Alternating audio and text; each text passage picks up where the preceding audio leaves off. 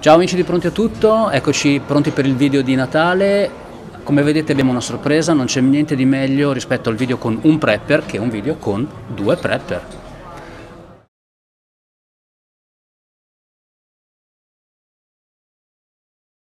Allora ragazzi vi presento Piero San Giorgio che come sapete è uno dei prepper più famosi che ci sono in Europa, eh, prepper, eh, autore come vedremo tra poco, eh, youtuber, eh, tiene conferenze su questo argomento e finalmente oggi è diventato anche protagonista di un video di prepper.it, roba non da poco.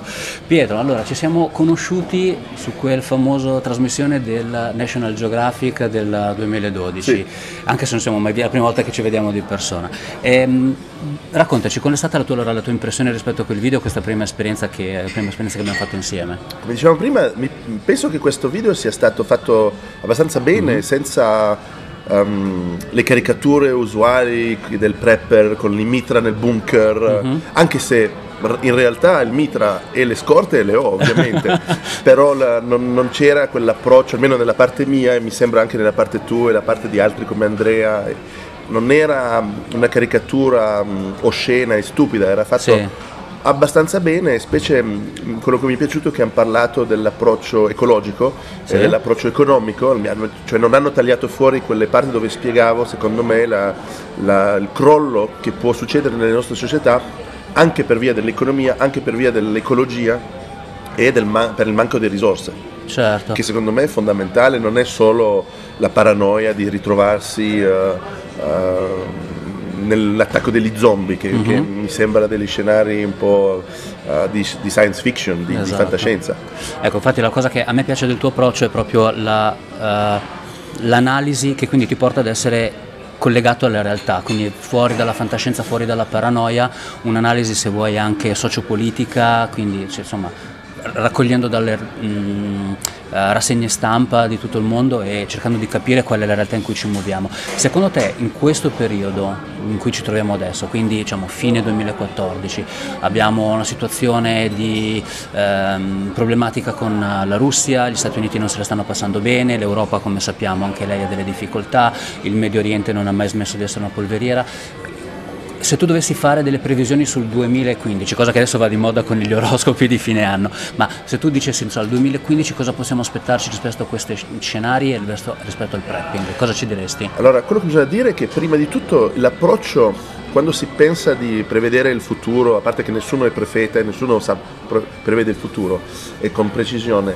bisogna dire che l'approccio è di provare di essere prima di tutto un cittadino un padre di famiglia, un, uh, un uomo o una donna responsabile. E essere responsabile vuol dire immaginare come può essere il futuro proccio o lontano per prepararsi, perché una persona responsabile si prepara a quello che può succedere, perdita del lavoro, uh, assicurarsi contro la casa che brucia, uh, anche cose molto purtroppo banali come mm-hmm. in fondo, cioè in Francia per esempio ogni due minuti c'è un incendio in una casa da qualche parte, dunque sono cose molto mh, palesi, molto, molto, semplici e purtroppo molta gente si aspetta che vabbè, lo Stato ci viene a aiutare o l'assicurazione, invece in molti casi non, non è così. Abbiamo dunque, visto anche qui in Italia con le alluvioni. Certo, le alluvioni è... ultimamente che sono state molto forti, che tra l'altro sono legate al problema ecologico cioè, e, e, e quello che ci sta succedendo.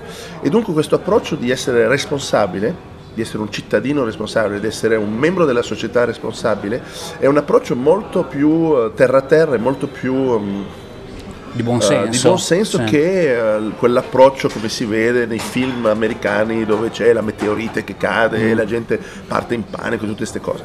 E dunque l'approccio, se uno è responsabile, l'approccio vuol dire di informarsi su come va il mondo, ovviamente regionalmente vicino a noi, se siete qui a Milano bisogna capire come va la regione, come va l'Italia, come va l'Europa e poi capire la geopolitica di come va il mondo, politica Uh, geopolitica ma anche economia uh-huh. e dunque uh, ambien- e- e- ambientale e quando uno guarda il mondo oggi cosa vede? Vede che c'è una convergenza di problemi molto pesanti, tra cui uh, la sovrappopolazione mondiale, di cui vedete oggi 5.000 persone al giorno che arrivano uh, in Sud Italia dall'Africa e questo è un, è un, risultato della sovrappopolazione, del manco di risorse, che è uh-huh. seconda, il secondo elemento, il secondo trend che converge.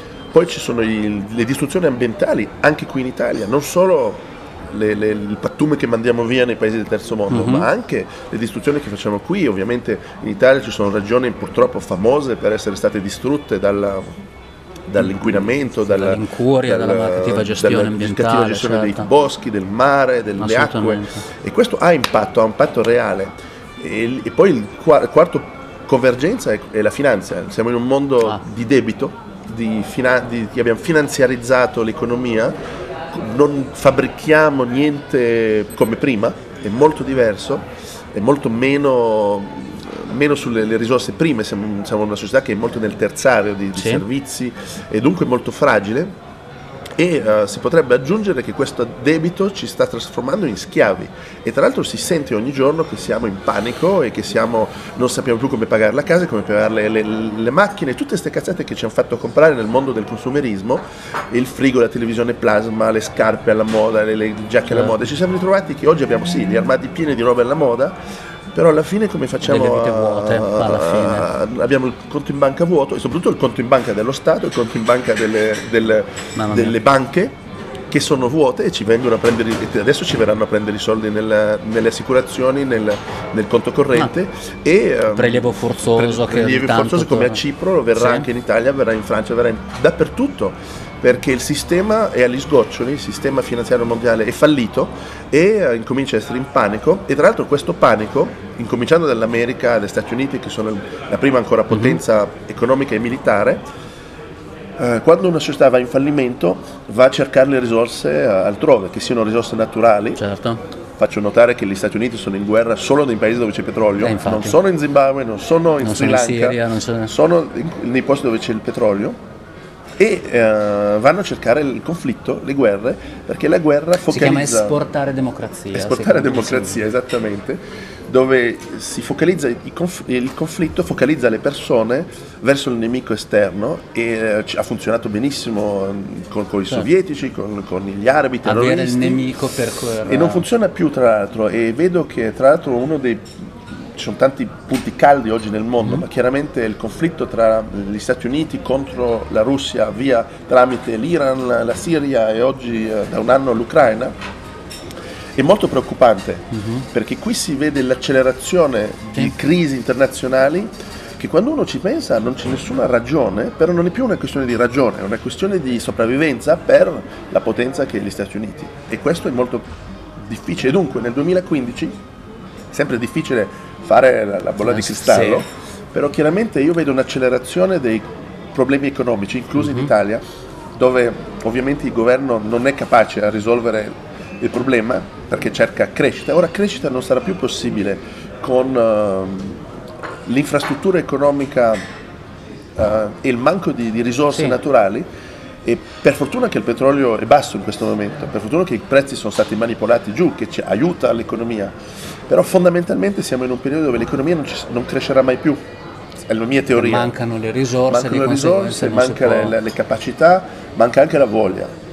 E, uh, e, qui si accelera il processo di quello che chiamano nei miei libri il collasso economico, dove si accelera eh, lo sfacelo dell'infrastruttura, lo sfacelo del del, manco di risorse, ma anche lo sfacelo della capacità di usare queste risorse in modo produttivo e uh, economicamente vuol dire sempre più gente disoccupata, sempre più gente che non può più lavorare, che non trova più uh, il lavoro o che vuole assumere persone mm-hmm. perché il rischio diventa troppo grande e um, questo si vede in America, si vede um, in, l'hai visto, immagino, sì. la povertà incredibile che oggi c'è in, in America, è impensabile ancora sì, dieci anni sì, fa. Uh, ovviamente in Europa, con paesi che sono, certi paesi come in Francia, che sono al bordo della guerra civile. Per, um, per ragioni che ancora dieci anni fa non, non, non esistevano, immigrazione di massa, um, e ancora una volta senza criticare, senza essere, avere odio per la, l'individuo che, in, che certo. l'immigrato, però quando un processo di, di, di, real, di reale invasione succede, mm-hmm. non è il caso ancora in Italia, ma è il caso in Francia, è il caso in Inghilterra, um, le tensioni sociali che si creano, c'è una polveriera. Sì. Aggiungi il Medio Oriente, aggiungi le guerre potenziali che possono anche essere nucleari. Cioè, tutta la mia vita da, da bambino avevo sì. paura della guerra nucleare. Noi siamo nati con la guerra fredda, certo. E adesso sta ritornando. Qui, qui, è spessa e qui se uno non si prepara non è, non è più responsabile. E, e, e, spero che la gente capisca che non è una questione di aver paura, non è una questione di essere paranoico, è una questione di semplicemente dire ok, cosa posso fare come individuo, come famiglia, come magari villaggio, gruppo di persone in un, in un palazzo in città, cosa posso fare per attutire si dice attutire in sì, italiano, sì, per attutire l'impatto. l'impatto. di qualunque crisi. Può essere, ancora una volta, può essere una crisi globale, ma può anche essere una crisi locale. Una persona che è pronta con lo zaino, con un po' di coperte, con un po' di cibo, se brucia il palazzo, almeno può tenere 24 certo, 72 ore. Anche l'emergenza, diciamo, l'emergenza piccola. Visto che ne hai parlato prima e che fondamentalmente è la novità di questo periodo, allora a questo punto ti faccio parlare del tuo libro Sopravvivere al collasso economico di Piero San Giorgio, che è anche uno dei motivi per cui ci siamo incontrati oggi, quindi lo lascio tenere. Allora, riassumici brevemente non tanto il contenuto, ma una, dai a loro una buona ragione per cui interessarsi a questo libro e correre in edicola a prenderlo. Una buona ragione per sopravvivere, Ottimo. per non morire. Ma senz'altro direi che questo, questo libro è, la, è, il frutto del mio lavoro. Quando ho incominciato nel 2005 a prendere coscienza di come va il mondo, mm-hmm.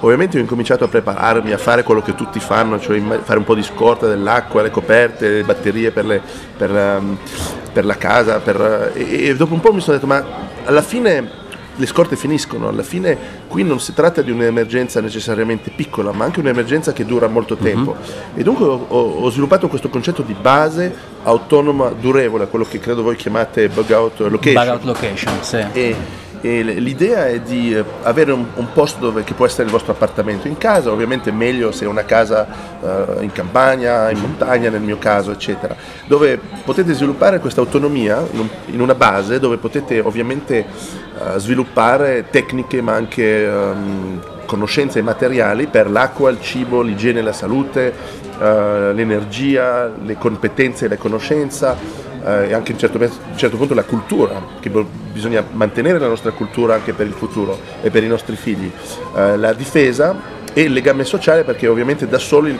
è difficile certo. fare tutto, dunque bisogna avere questo legame con la sua famiglia, gli amici magari o la gente, i vicini. E, e può incominciare da qualcosa molto semplice e svilupparsi, nel mio caso faccio il mio orto, Uh, l'allevamento, le, le, le, ho dei pannelli solari, eccetera, eccetera, e metto il legame con la gente nella mia vallata dove, dove ho la mia fattoria, diventa ogni giorno sempre più forte, sempre più um, funzionale. Uh-huh. E, e, questo ci permette di, ovviamente, chi può il più può il meno, sviluppare magari questa resilienza, questa autonomia e dunque questa responsabilità del, in, di fronte al futuro molto più potente, molto più efficace e magari anche aiutare chi nella nostra famiglia o dei nostri amici alla fine si ritrova allo sbarando e che viene, certo. magari di poterli aiutare perché se te non hai niente non puoi aiutare nessuno. E dunque bisogna poter anche immaginare che alla fine avremo bisogno della gente, non è un approccio totalmente egoista e di rinchiusura, anzi al contrario è una, è una questione Siamo animali di, di sociali alla fine. Siamo quindi. completamente sociali. Dunque questo libro um, l'ho scritto in Francia e, e, siamo stati tutti sorpresi dal successo, siamo a 50.000 copie Però. vendute e dunque è un, è un vero successo di, di, libreria in Francia e, e ci ha sorpreso e probabilmente l'approccio um, è un approccio molto um, graduale e, un, e, magari un linguaggio che non è paranoico o di, uh, di far paura, mm-hmm. che, che, che, che piace e che è molto adattato secondo me alla mentalità europea. Sì. Uh, anche quando questo libro è uscito adesso in America, sta uscendo in Russia, nei paesi arabi, magari in Giappone e, e, vedo che in America è un libro tra altri, invece in Francia è stato un successo, in Russia secondo me sarà un successo perché, e speriamo in Italia, conto su di voi, perché è un libro che può aiutare la gente a capire nel mondo in cui stiamo andando sì. e soprattutto come possiamo res- essere,